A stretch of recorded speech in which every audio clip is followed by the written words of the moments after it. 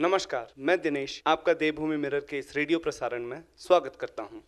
सबसे पहले आज की मुख्य खबरें। हिमाचल में आएँगे इजरायली फ्लेक्सी टैंक और हेलनेट। धवाला अगले पंद्रह दिन रहेंगे चुप। जिला स्तरीय स्वतंत्रता दिवस समारोह की तैयारियों की समीक्षा पर बैठक का आयोजन। लाहौल स्पीति में भूकंप के झटके। घरों से बाहर निकले लोग। रोपवे पर फोकस करेगी जयराम सरकार। शिमला, मनाली और धर्मशाला में होगा काम।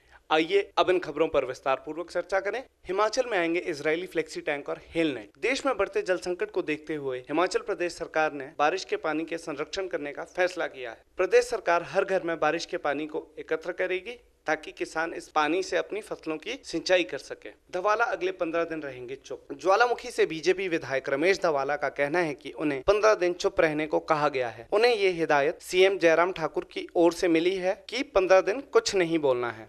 धवाला ने ये बात आज तपोवन स्थित विधानसभा परिसर में कही।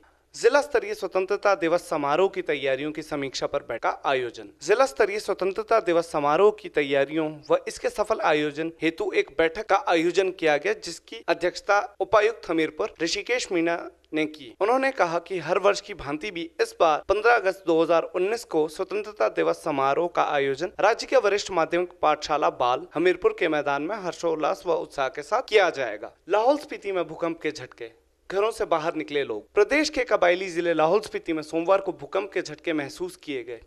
रिक्टर पैमाने पर भूकंप की तीव्रता चार दशमलव तीन आंकी गई। भूकंप से किसी तरह के जानमाल का कोई भी नुकसान नहीं हुआ है। सोमवार सुबह नौ बजकर तीन मिनट के आसपास लाहौल स्पीति में भूकंप के झटके महसूस किए गए। झटके महसूस होते ही लोग घरों से बाहर तो निकले, पर कहीं किसी तरह के नुकसान की सूचना नहीं है। रोपे पर फोकस करेगी जयराम सरकार। शिमला, मनाली और धर्मशाला में होगा काम। हिमाचल सरकार प्रदेश में अब सड़कों के बजाय रोपवे निर्माण पर अधिक ध्यान दे रही है। यह जानकारी सीएम जयराम ठाकुर के अतिरिक्त प्रधान सचिव संजय कुंडू ने मंडी में आयोजित आयोजित पत्रकार वार्ता के दौरान दी। उन्होंने इससे पहले जिला के अधिकारियों के साथ सीएम के गृह क्षेत्र सिराज में जारी विकास कार्यो की भी समीक्षा की। तो ये थे आज के मुख्य समाचार।